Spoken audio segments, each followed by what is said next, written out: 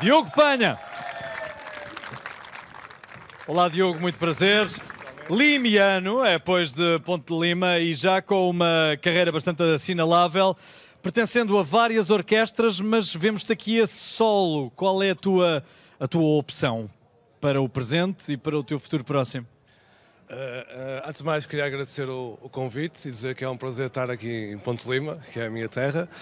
Uh, a minha opção para neste momento, eu tô, acabei de lançar um álbum de originais, a solo, num, numa musicologia um bocado cinematográfica, do, no, muito na onda do compositor americano Hans Zimmer.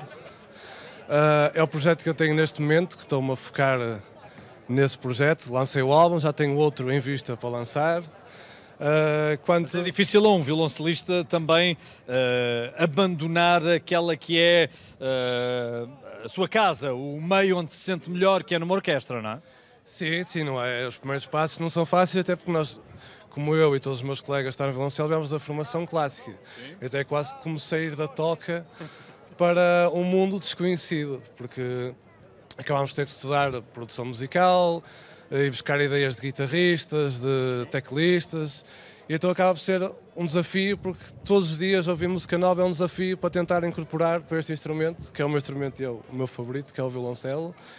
E eu tento fazer, tento sempre inovar o máximo que eu consiga. Este sítio onde nos encontramos, esta paisagem luxuriante é também fonte de inspiração para ti, para algumas das composições, para alguns dos originais que tu preparas? Uh, sim, aliás, até tenho um original do álbum que saiu esta semana, chama-se The Force Kind. Está disponível no Spotify, no iTunes, para quem quiser ouvir. Uma das composições eu escrevi aqui em Ponte Lima, exatamente do outro lado da ponte, no Arnado, a ver a paisagem de Ponte Lima. Portanto, há mais que razões para que tu te sintas limiano e tenhas orgulho, orgulho de tal, não é? Exatamente. Olha, formação clássica, uh, a passar pela música pop mais uh, conhecida dos Coldplay, como este tema que acabamos de ouvir, até aos Moonspell. Uh, é a diversidade que também te ajuda a manter esta paixão por este, este instrumento? Sim, sim. Uma das maiores paixões que eu tenho por violoncelo é exatamente porque ele consegue sair de, do conceito clássico.